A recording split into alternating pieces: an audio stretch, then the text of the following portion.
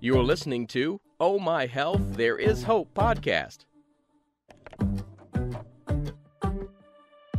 When your heart is aching and your world is shaking, don't give up. No, no, don't give up.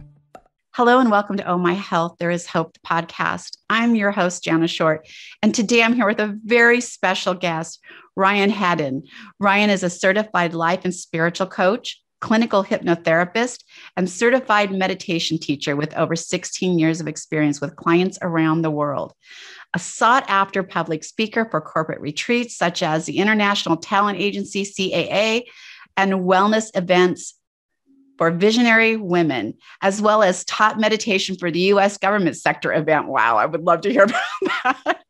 Ryan does private workshops such as stepping into your purpose, the work life balance, and finding your center.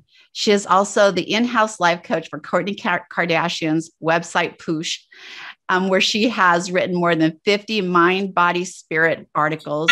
She writes for other publications such as Mind, Body, Green, Authority Magazine, and Parents Magazine. She has been on dozens of podcasts speaking about relationships, self development, and a purpose driven life, which is my like passion. And you're a busy girl. Thank you so much for taking the time to be with us today. Oh, thank you. It's such a pleasure to be here. Thanks for having me. So, Ryan, one of the things we ask all of our guests to do is share their story of hope. I think our journeys are so powerful, and I think that they're meant to teach others as well as us. So, do you want to share your story of hope with us today? Story of hope. Let's see. I think we're all have our stories of hope. You know, I think we're all on our journey if we're worth our weight in salt. And anyone tuning in today has probably had a rocky road to sort of want to change things and become more holistic, or has had to you know, devolve in some way and go off the side path to explore other avenues and then come back to center. I think we all are that.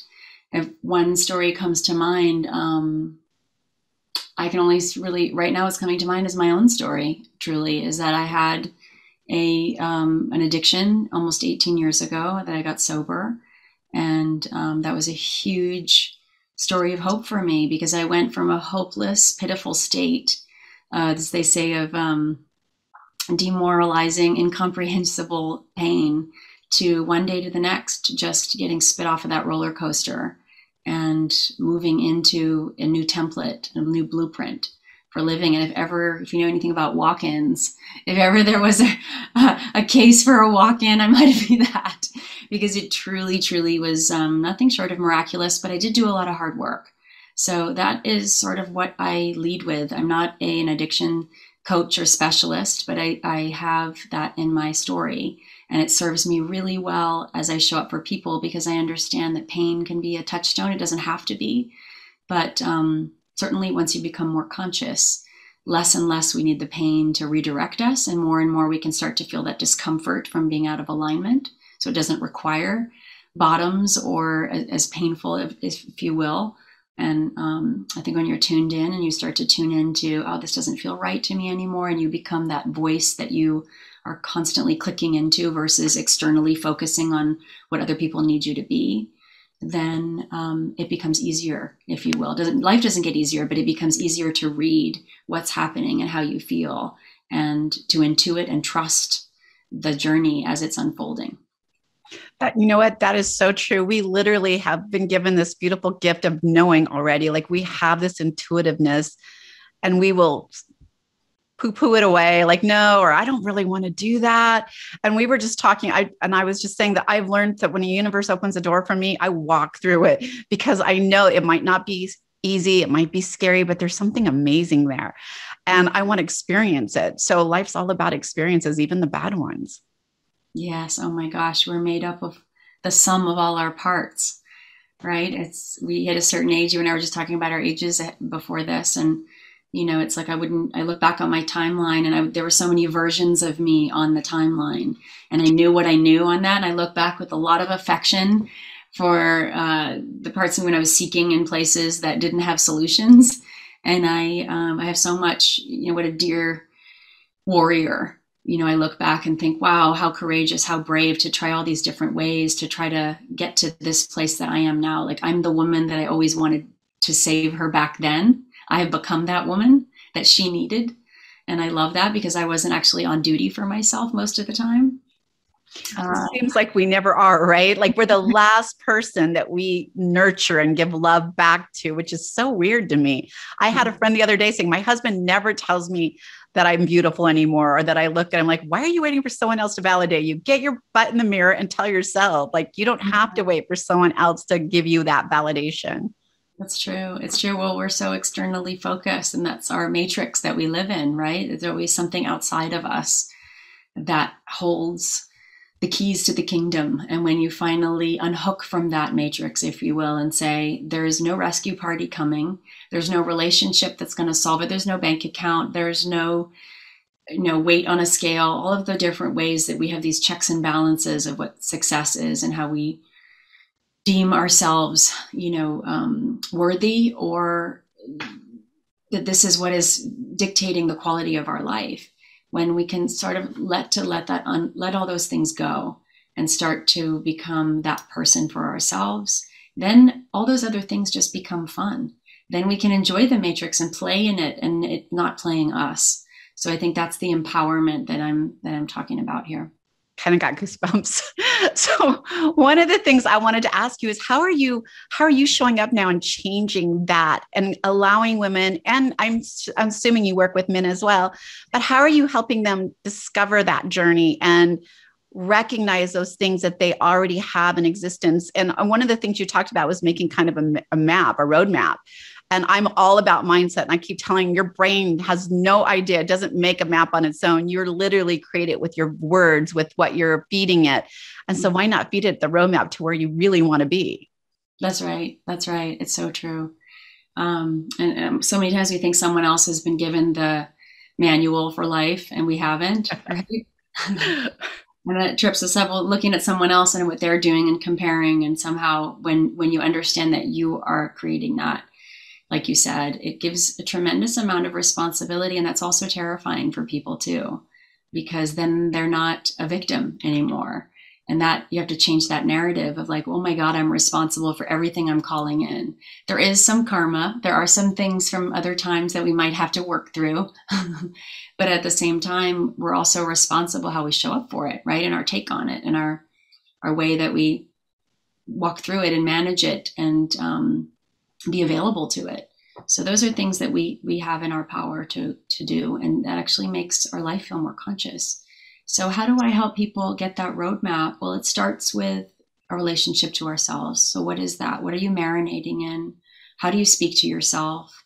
What are the things that you disown? What are your assets? What are your liabilities? So they're all kind of things where we start in our coaching process together.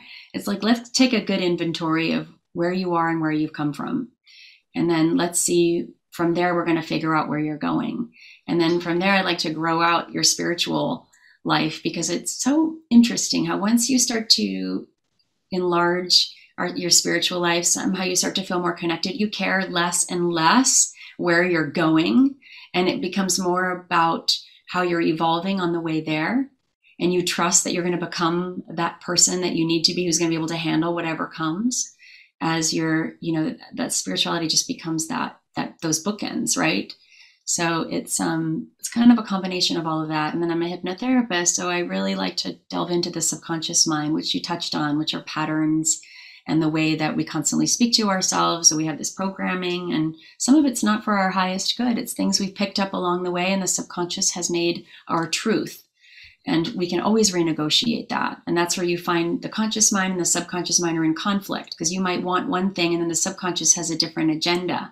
But what it's really trying to do is to move you into wholeness. They're like flags on the field, these little catchphrases that the subconscious spits, right? Like you're not enough, you'll never be able to get this done. Usually it's negative and it's constantly trying to keep you safe with its limited projections and understandings and it's um it, it, can feel frustrating when you're when you're on the path and you're working really hard and then the subconscious keeps tripping you up in a sense it feels like a saboteur but it's when you pop out from the 30,000 foot view it's trying to move you into wholeness and showing you those places where there's still healing to be had or a renegotiation in reality.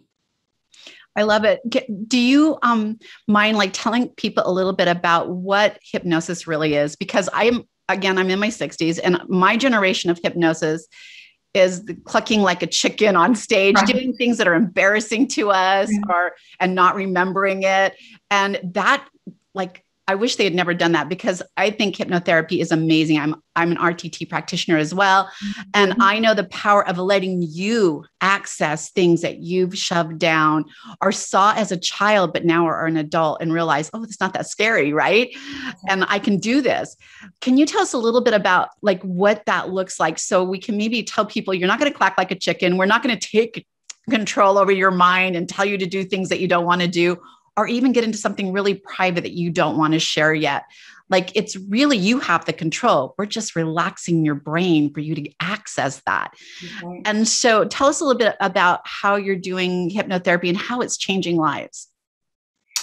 I think you said it so beautifully and so succinctly. I think that that's all of that is true and the stage shows are amazing and they work but it's really about suggestibility. It's the all hypnosis is self hypnosis so it's the degree to which you allow yourself to drop into that state. And the deeper that you the more comfortable you feel the more you're going to allow yourself to drop into theta which is that magic state where we can really make changes in the subconscious. So really it's it feels like a guided meditation where you're aware of what you're aware of what's happening and sometimes you go in and out of awareness but your body's relaxed and your mind is your conscious mind is relaxed and the subconscious is always paying attention and it, the subconscious is always being hypnotized whether we like it or not. It's happening when you're watching tv it's happening when you're when you're reading a book it's happening when you're spacing out. It's like you're in that trance state and i think we just need to normalize this notion that we are being programmed. So you might as well take it into your own hands and program it for the highest good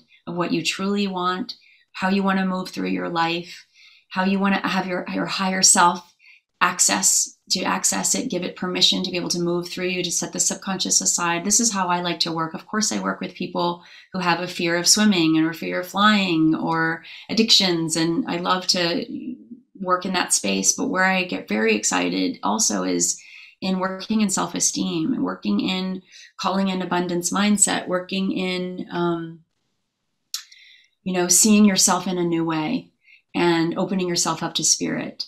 And those are those are the places where I feel like I see people take off in their lives. So we can do coaching sessions, and that's how I usually work: is a couple coaching sessions, then a hypnosis session, and usually we come to these aha moments in the coaching. We move that right into hypnosis, and in that place, do we just close those loops those little loops, those those those little places where there's a catch, you know, and then we and we align the person to what they truly how they want to be living their life.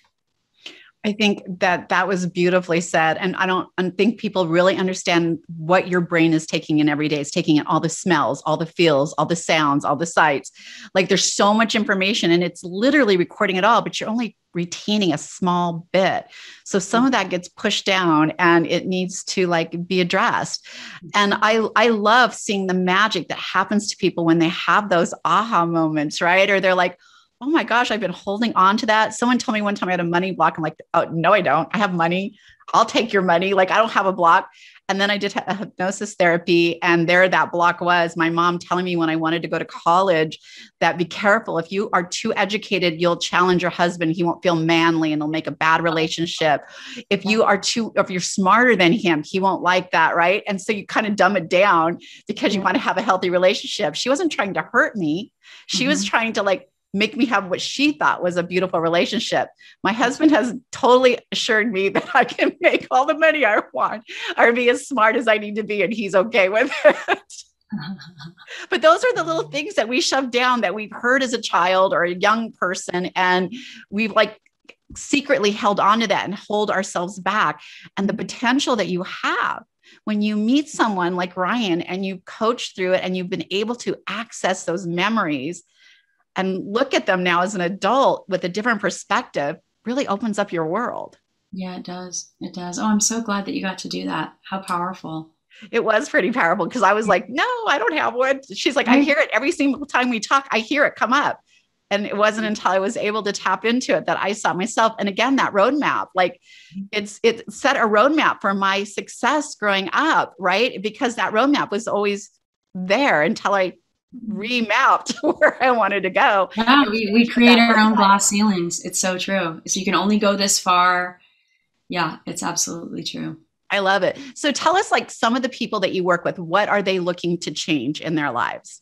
Wow. Well, everyone comes in, most people come in because they know they're not living the way they, they're usually successful. They're usually, you know, doing really well, but somehow they feel disconnected either from their purpose or they feel disconnected. They know they should love themselves more, or they feel that um, the relationship they keep calling in the same relationships over and over that I find a lot, or they're in a relationship and they find they keep reverting back to certain roles in the relationship, like you were sharing, you know, like just these old ideas that are preventing them from moving forward and they're not evolving and they know that. So they're, I think it kind of looks and feels like that most of the time. And then people who, who are work, like you, like with finances, who've been working really hard. And I just had, here's another story of hope. And I just remembered it when I said that is that I had a I have a client who has been working in an industry for a very long time and had you know career goals and we did quite a few hypnosis recordings we did quite a we did, probably did two or three so let's say three and she kept listening to them and listening to them she said she didn't miss a day which is kind of extreme after th- two months listening to them. And all of a sudden this last month she got her 10 year goals in two months for her business. It's amazing so when we get out of our own way. club yeah. In two months she got it she got a million dollar that was her goal to get. And in two months so it's it just shows the power of massaging the subconscious and programming it for the highest good for you and removing all the blocks all those little niggling you know um, ideas and perceptions around things and just putting it right set for takeoff. And she's obviously she's done all the hard work to do that too. So it's she knows it's it's a partnership. And that's what happens when you're you know we're not magicians. We're, we're we enter into partnership with our clients and it's about how much they're going to listen to these things. Like uh, we, we crack the door open and it's how committed they are to it. It's noticing when those you know programming comes up that's negative and changing the channel and moving it back into alignment with setting that set point of like this is where i'm going this is what i'm doing you know the universe is supporting me and like just having you know, those sorts of things. So I, I'm a little wary of the mindset part. I always bring it back to spirit and I always bring it back to anchoring into the highest good. I, I always say that because I don't want to go against, I don't want anyone like, you know, I'm manifesting, manifesting, manifesting, but if it's not for the highest good, what is the point? So I always try to reframe this and create it into that so it's an integrity with the rest of the multiverse, if you will. That's my spiritual piece that I always add into it. I, I love that. Important. I don't know if you remember growing up, like, I don't know if you were a Girl Scout or anything like that, but one of the things I always remember hearing them say is we leave this place better than we found it. And when you're working for the higher good, that's exactly what you're doing. You're making generational changes that you may never have an opportunity to see, but maybe your kids or grandkids or great grandkids are going mm-hmm. to experience that change. So I love that you said that. One of the other things that you mentioned was it's hard work. I don't want anyone to think that you can go into hypnosis and boom, something's gone. Like I had hypnosis and I stopped doing this or I created that. It doesn't work like that. Like you have to put in the work. This is just making you aware of what that work might look like. Yes, yes. And I do feel like most people are leveraging a lot of information and they know themselves or they've gone to therapy or they've been on the path and they're doing the meditations, they're doing the workshops, they're doing all these other things, and then hypnosis becomes this buoy underneath them. And for me personally, how I found that path is that I was in these, um, I was in the dating pool in Los Angeles, and you're there, so you know that's ripe for lots of healing and uncovering all kinds of like things you thought you dealt with, right? And I started seeing a hypnotherapist then, and I just started noticing it wasn't that I wasn't doing the same things. It's just that I started noticing a shift in the way I was thinking about them. And I started less get feeling less like Velcro attached to whether I was called back or not called back. It's like my, my self worth started to click in. I was like, I actually don't care. I'm actually fine. It actually doesn't even matter anymore. Like those, that's where you see, oh my gosh, this is really powerful. At the same time, I was still doing my meditations. I was still being conscious. I was still journaling. I was doing you know, um, going to my 12 step groups. I was doing, I was doing the work. You know, exercising, taking care of my body, doing all of that. But that piece clicks into place and everything starts to move around on the board a little bit. And the subconscious is that key. And hypnosis isn't the only way to access. So I just want to say if you're not open to hypnosis, there's plenty of other places that you can um, address the subconscious mind. It doesn't have to be, you know, through through this one modality. By the way, living in Los Angeles and working with a lot of celebrities, I will tell you that that you have to have very thick skin, like very thick skin. You're either to this, not enough of that. You're constantly being picked apart and diagnosed for whatever part you might be running for and people have very unusual standards here in Los Angeles in the dating pool. It's very unique. And um, it's hard. It's super hard to not walk away without a bunch of dings in your armor and not take it personal. That's right. And I, I know a lot of celebrities, that is one of the reasons they self-medicate. They self like they they try to push down those those rejected feelings because how many times do you go out on an audition or or you know even a date and you're like that didn't work and you Yes. take it as a rejection it's a big hit on your armor hmm Yeah, that's right. That's right. Yeah, I think dating consciously is like the master class. because you're truly having to self soothe and having to learn tools to be able to hold your sovereignty and also evolve and trust that what's meant for you will find you. And that was one of the messages that I used in my for my own subconscious that he's making his way to me and I trust the divine timing. That was one of those phrases. Those are, you know, in hypnosis as hypnotherapist, you know, you you get these phrases and those are the things that we repeat. And then you're repeating them in hypnosis and then you're repeating them when you're driving your car and they pop up. You know, and so I would say that and every time I'd go on a bad date, I remember he's making his way to me and it's happening in divine timing. And I or I trust divine timing. You know, and I'd say things like that. And then it would I'd feel like my whole blood pressure drop and I'd click right back into my center again. And so it felt like these these life rafts but everyone's got to find how that works for them. So because i opened up and grew so much from it that i i said one day i'm going to do this. And i literally wept when i got my hypnosis certification. I was the only person there just crying weeping over the certification because i'm like this is going to help so many people and i'm so excited that i get to bring this and you're right we do have to push up against all these preconceived notions and you have a lot of people have control issues because they've gotten this far in life with controlling and managing everything. And then they come into this space with me, and I'm sure with you, where you're just like, it's time to let go. You know, it's time, you've come as far as you can with the tools you have. Well done. Let's try something else. Surrender doesn't mean giving up, it means letting go. And let's see what happens, how things can get moved around on the board with you not holding so tightly. Right. So these are some of the spiritual tenets. But hypnosis is one of those because they have to take that leap of closing their eyes and dropping into that space and being guided and, and led.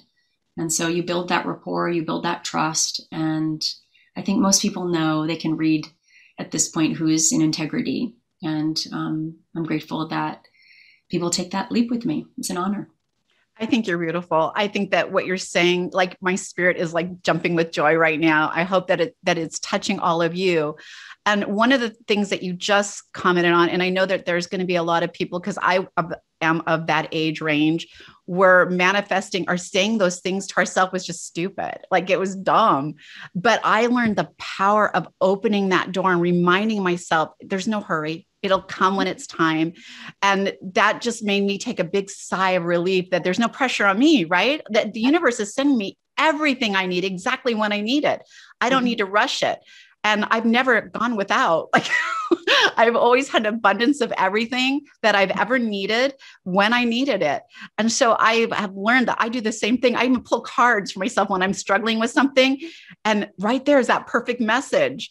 And I post it like right on my work board so that every time I'm like, I forget, I look over, I'm like, nope, I got this. It's coming. I feel it. So I love that you were sharing that. It's hard to do though. Sometimes it's hard to let go of that trying to make the manifestation happen instead of being allowing it to come the way it needs to come. Yeah, that really is a dance of doing the footwork because we have to do everything. It's not like I think some people look, look at from the outside in, they go, Oh, you're just sitting on your couch going, God's going to figure it out for me. Like, and I'm just going to manifest into a vision board and it's coming. It's like we touched on earlier, it's a bit of both. It's a bit of, you know, singularly choosing the same thing over and over again without unwavering. I mean, even if you waver, you go back to that set point of like, it's happening. This is what I'm choosing. I'm choosing love. I'm choosing the highest vibration of love. I'm choosing abundance. I'm choosing self, you know, acceptance. I'm choosing, no matter what, even if I veer off a little bit, I'm going to click back. This is the path and choosing that over and over again. And then keep turning up over to something greater and saying, this is the best I can see with the limited purview that I have. If you've got something better, please take it. Navigate it. Let's go. I'm I'm I'm going to keep moving my I'm going to keep moving these pieces forward and then I turn the rest over to you. The the timing of it, the how of it, all of those parts and pieces instead of trying to control and manage all of it, right? Do you see that difference? It's such a subtle dance. And even if you're seasoned on the path, you could get tripped up in that dance. Like, am I working too, too hard? Am I muscling my way through this too much? Or is this me, you know, um, taking steps forward, right? So that's something I we also I talk about with a lot of high functioning people of like when do you stop? When do you relax back and trust the timing of it? At what point is that, right? It's a point of grace, is what it is. So um, anyway, these are beautiful conversations, and I love having them with you all. It's nice. I love it. Afternoon, yeah. I was literally obsessing with you before we got on here because I always go and do my research and check some things out. And I noticed on your website you have a free guided hypnosis. Um, and so, by the way, that's the only way I learned to meditate is I had to do a guided hypnosis to get my brain to mm-hmm. sort of slow down, take a breath and get into a more relaxed state. Because it's very hard for people like me whose brains are like constantly like how much longer? Has it been too long? Oh i gotta scratch my nose. What is do i start right. over? Oh i'm thinking something right now. Yeah this isn't working. Yeah. I should so, do the laundry. Yeah. Yes. Not only did it make the, the experience of meditating beautiful for me but i didn't get a chance to get to download it and listen to it but i definitely would suggest all of you go see what that looks like and get comfortable with with maybe that experience and seeing how that can open up a beautiful life for you. Because at the end of the day, what do you want? You want to thrive in the moment that you're in right now. That's all we have. That's mm-hmm. guaranteed to us is the right now. And so why not thrive in that beautiful space? Mm-hmm. Yes, it's for you. Go ahead and jump into the website and take advantage of it and see how it feels. Enjoy it, right? Thank you, Ryan. How can people connect with you? Well, I'm usually on Instagram. That's my favorite spot these days, and I write a lot of blogs there. It's not even it's not bloggy, but that's where I end up blogging. So please come over to Ryan Haddon Coach, and then of course my website will explain how I work and how you can work with me. And I'd love to meet you. So come on over. Great. Well, we're going to put all of those links just in case you missed that in the show notes. You can just connect with her right away. I'm definitely going to put the link to her website because you're going to want to go try the um, self guided hypnosis and see what it feels like for you and get comfortable with it because it's kind of amazing. Thank you so much for being with us today, Ryan. Thanks, Jana. Thank you. Thanks for listening to the Oh My Health There Is Hope podcast. Make sure to visit Jana's website, bestholisticlife.com, where you can subscribe to the show on iTunes, Google Play, or listen there so you'll never miss an episode. While you're at it, if you found value in the show, we'd appreciate a rating on iTunes, or if you simply tell a friend about the show, that'll help too. Let's change the world together, one health expert at a time. Looking forward to seeing you next time.